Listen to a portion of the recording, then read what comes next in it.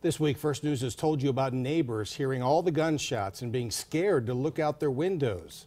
Two Youngstown policemen who responded to the shooting are talking about what they did, trying to make sure there was at least one survivor. As we told you yesterday, the officers rushed the youngest victim to the hospital, but it was too late.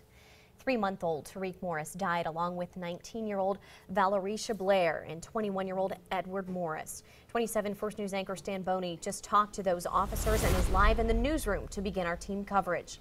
Well, officers Casey Kelly and Greg Tackett were the second and third policemen to show up Wednesday night at the corner of Gibson and Pasadena on Youngstown South Side. Before that, they were filling out a report at the Byzantine Center on Shady Run Road when Officer Tackett heard the gunshots a mile and a half away.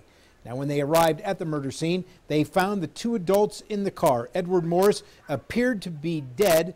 Valerisha Blair was barely breathing. As they were shining their flashlights into the car that had been shot up, Officer Kelly saw what, he, saw what he thought were a pile of clothes, but what was really a blanket over a car seat with a baby inside. Just a short time ago, officers Kelly and Tackett sat down with me and explained what happened next. I don't remember seeing a baby until Officer uh, Kelly here pointed out that you know the, the, pile of clothes that we thought was just a pile of clothes in the back was actually in fact an infant and we, as he said, we broke the door open, and it was just kind of a, I believe that the, the ambulance company told us it was going to be a few minutes till they got there, and just looking at the baby's injuries, knew that you know, a few minutes was just not going to be, it wasn't going to cut it. Me and him both decided, and we were like, we got to get this baby to the hospital.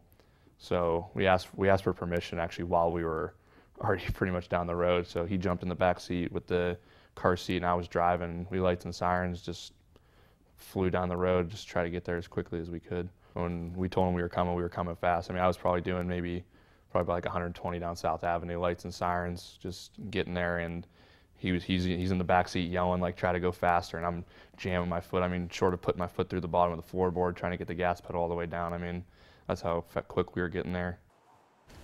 And get this, after they left the baby at the hospital, they realized that most of the officers on duty that night were still at the murder scene. Officer Kelly said he sat in the cruiser and cried for just a little bit, but then they both knew that the city needed covered, and both of them went back to work.